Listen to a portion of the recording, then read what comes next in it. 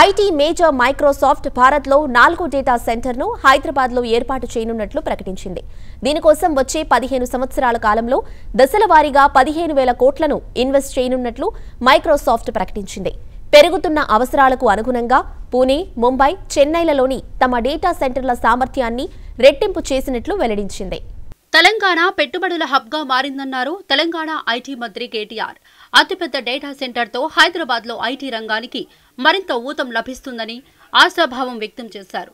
Tech దిగ్గజం Microsoft America వెలుపల అతిపెద్ద డేటా సెంటర్ను పదిహేను వేల కోట్లతో హైదరాబాద్లో నెలకొల్పనున్నట్లు గచ్చిబౌలిలో జరిగిన కార్యక్రమంలో మంత్రి కేటీఆర్ ప్రకటించారు. ఈ మేరకు తెలంగాణ ప్రభుత్వంతో మైక్రోసాఫ్ట్ ఒప్పందం కుదుర్చుకుంది.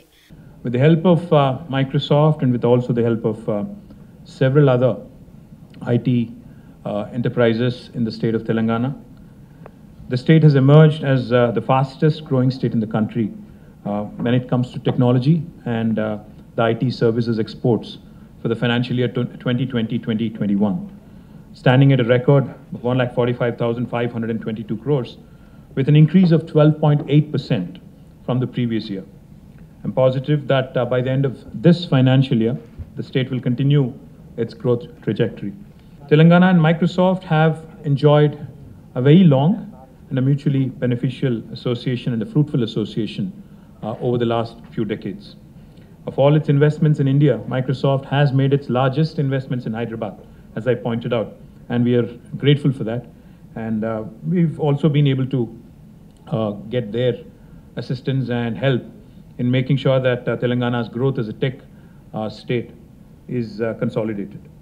దేశీయ డిజిటల్ ఆర్థిక వ్యవస్థ పురోగమించేందుకు మైక్రోసాఫ్ట్ డేటా కేంద్రాలు ఎంతో తోడ్పాటునిస్తాయని లాంగ్ టర్మ్ ఇన్వెస్ట్మెంట్స్కు వీలు కల్పిస్తాయని కేంద్ర ఎలక్ట్రానిక్స్ ఐటీ సహాయ మంత్రి రాజీవ్ చంద్రశేఖర్ తెలిపారు Data centers, as you know, are clear um, requirements for a country and an economy that is rapidly digitizing and is onlining uh, at a pace faster than any other country in the world.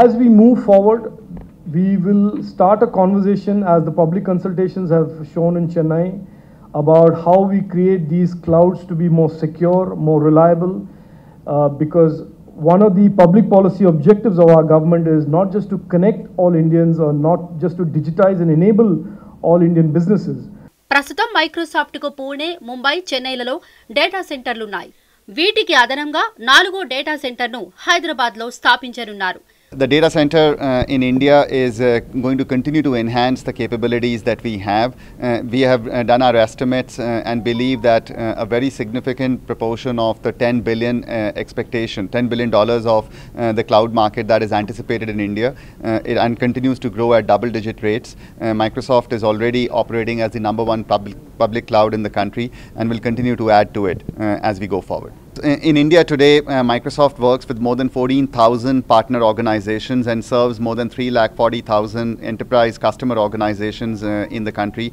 Our mission is to empower every person and every organization in, on, in the country to achieve more, just like it is to, uh, for every, uh, every uh, customer and uh, every uh, partner across the planet. రెండు వేల ఇరవై ఐదు నాటికి ఈ data centre అందుబాటులోకి వస్తుందని మొదట తక్కువ సామర్థ్యంతోనే ప్రారంభమైన దశల వారీగా అతిపెద్ద డేటా కేంద్రంగా అవతరిస్తుందని మైక్రోసాఫ్ట్ ప్రకటించింది.